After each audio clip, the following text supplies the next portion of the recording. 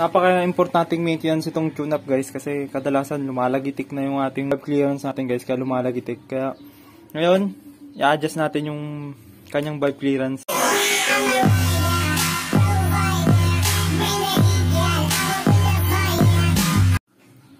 Hello guys, isang magandang araw ulit sa inyo. Andito na ulit tayo sa ating sporty, yung nakarang video natin.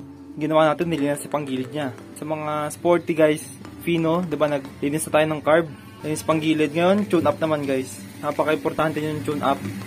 Sa standard size o sa factory settings ng motor natin guys. Adjust natin siya. Halos kompleto na natin yung mga maintenance guys. Change oil na lang medyo mahirap. Lalo ka muna sa change oil guys kasi baka mahuli ka ni misis mo. Ang factory settings ng valve clearance ng mga Mio Sporty guys. Ah, dito sa likod ng upuan. Pag stuck pa yung upuan nyo, ah, meron pa yan dito so, yan, sa likod. Ah, pag stuck pa. Ito, yan, basahin natin. Ayan guys. Ito yung sa valve clearance. Yan, intake 0.06 to 0.110 mm, exhaust 0.08 0.112 pag code maglalaki lang tayo guys ng clearance to 0.110 mm pag ah, malamig yung makina guys.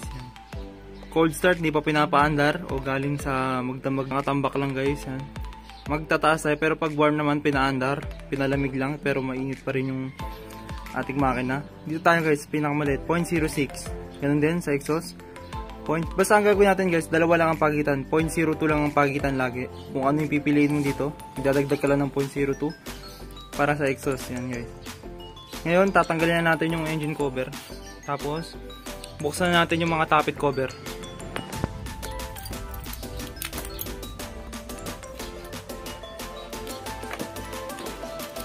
Kaya pwede na magpapasok-pasok na Laptop na ito rin, masunti natin model sa Kung gagawin yung taon pa lang.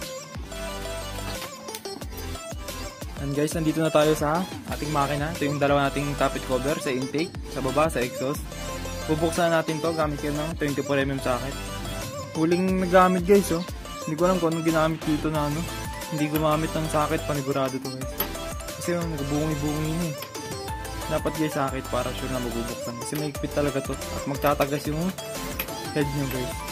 Buksan natin itong dalawa.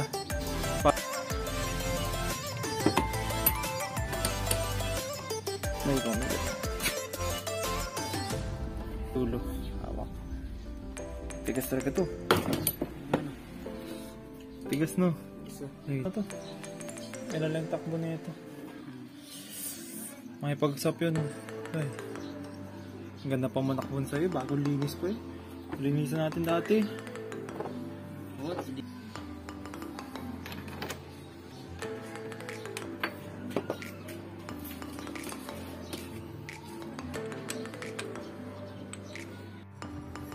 Ngayon guys, ah, kailangan pala natin baklasin tong ah, footboard natin o kaya itaas lang natin yung footboard. Tanggalin natin tong side fairings dito. Kailangan natin tanawin dito yung ating top dead center para maikot natin dun sa fan natin sa may kabila.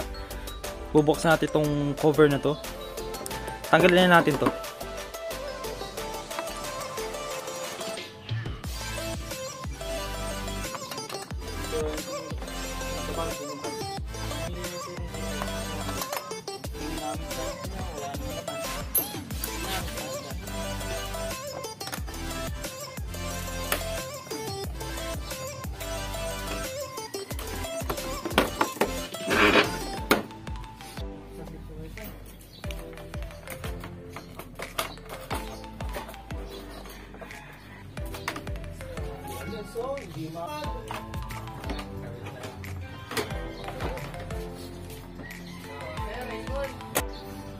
So guys, babaklasin na natin tong allen. Yan, 5mm cover.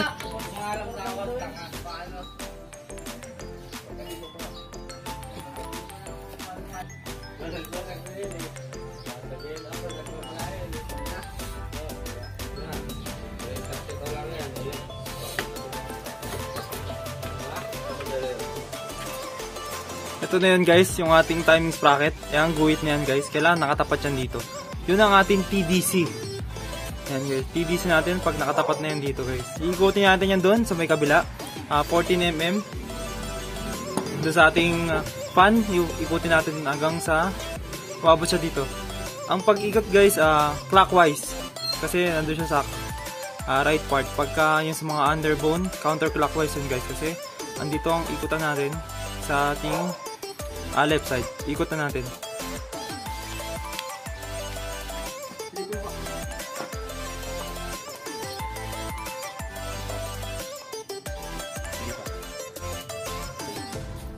Ayan na guys, nakatapat na siya sa ating TDC.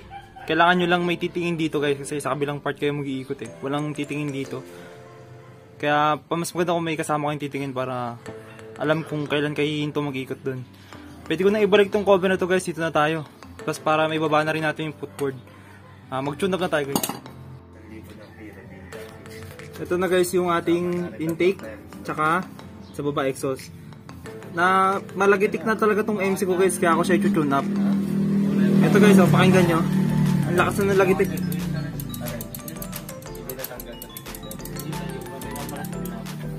malagitik na masyado malakas yung sa clearance. Sa sa baba guys sa tingin ko onting adjust lang to. Pero dito sa ating intake yan adjust to. Ang gagawin ko dito hindi ko ito pina-under guys. Siguro ang ilalagay ko dito point uh, 07 tapos 0.09 sa exhaust. Yan. Nga pala guys, kailangan nyo ng uh, filler gauge para sa ko. Hindi pwede yung ano, uh, kakapakapay na guys ginagawa ng ibang mekaniko. Mas maganda kung uh, gagamitan talaga ng clearance kasi kahit anong kapakapa niya, kagaling, kung kano kagaling yan, hindi niya matatamang sukat yung guys. May nabili ako kaso kinalawang na guys pero alam ko pa naman yung sukat niya. Kung bibili kayo ng filler gauge, yung stainless na siguro, kukunin ko na tapos sukatin natin. Ito 8mm to guys. Luluwagan nyo tong uh, nut na to 8mm. Ito ang pang-ikot natin para ma-adjust natin yung valve clearance. Ito guys, 0.07 to. Yan, medyo kanalawang na pero 0.07 to para sa intake. Yan. Lalagay nyo lang siya dito guys. Luluwagan natin to ng 8mm. Tapos dito guys, uh, pang kukontra natin dito, plies.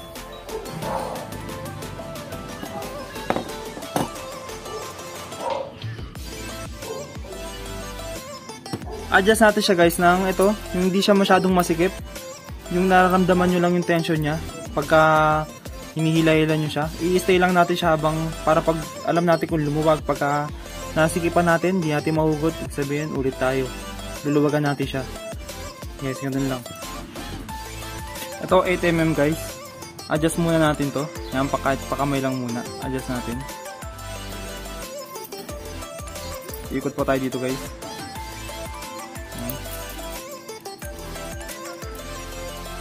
Ito guys, tama na yung tension niya. Ayan. Tungan natin unti. Ayan guys, tama na yung tension niya.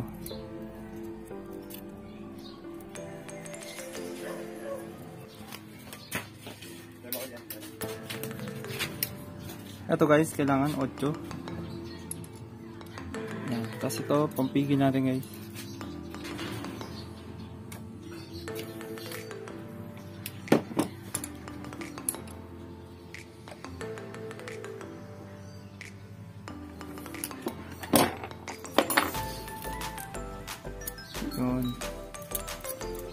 Hindi na siya masyadong malagitik tulad kanina.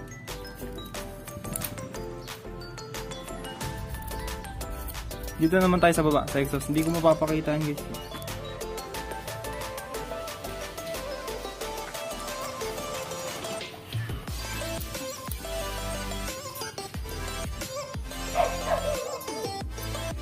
Yung sa exhaust ko guys, sakto lang yung sukat niya. Talagang yung nagtaas lang yung clearance sa intake natin. Pero pag gawa sa exhaust, mas mahirap lang siya kasi nasa baba. Pero ganun lang din ang gagawin nyo guys. Lubagan nyo ng 8mm yung nut. Lubagan nyo siya 8mm tapos maglagay kayo ng filler gauge. Yan. 0.09 o 0.10 na gauge. Ilagay nyo sa pagitan. Contrain nyo lang siya ng light. Slice. Yan. Para ano, matama yung sukat niya. Tapos sasarado na natin tong dalawa guys. Natin kung lalagitik pa siya ulit.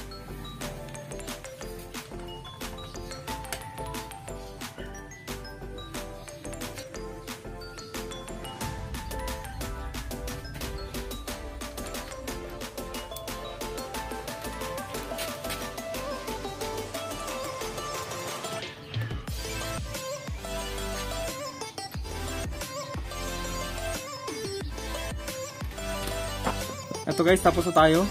Pag ikakabit niyo yung mga ah, itong cover natin sa timing sprocket, ah tappet cover, kung gusto niyo makasigurado walang tagas, eh, pwede kayo maglagay ng liquid gasket.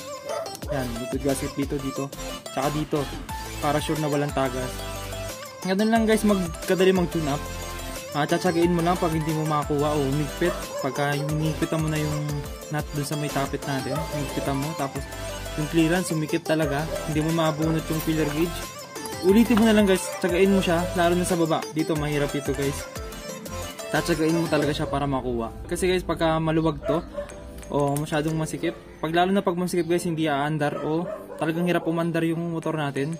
Pag maluwag naman, aandar siya agad guys, pero malagitik. Sa exhaust guys, kadalasan dito, pagka yung clearance natin dito eh hindi nakaset sa standard, ah, pwede magba-backfire dun sa ating pipe yan guys. Kaya kailangan nasa tamang set talaga ng ano ating ah, valve clearance. Kakabit ko na lahat guys, tapos paanda rin natin. Hindi natin kung lalagitik pa. Kasi pag ah, ano guys, pag nag-expand siya yung tappet natin, pag mainit, pag ah, small clearance lang ilalagay natin guys. Kasi pag lumamig yun, at bumabalik sa ano niya, tumataas ulit yung clearance. Pag malamig naman guys, siset natin siya ng, syempre mas mataas yung clearance. Para pag nag-init, ah, standard na ulit yung clearance niya. Walang lalagitik. Yan. Paanda rin lang natin to guys. Kakabit ko na natin. Kakabit.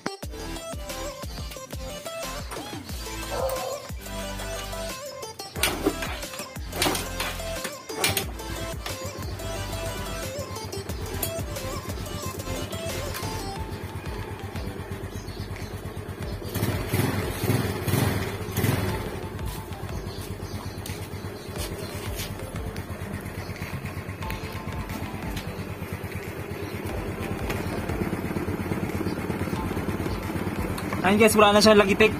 Kadalasan dito talaga sa intake. Ayun, lagitik niya guys. Wala na.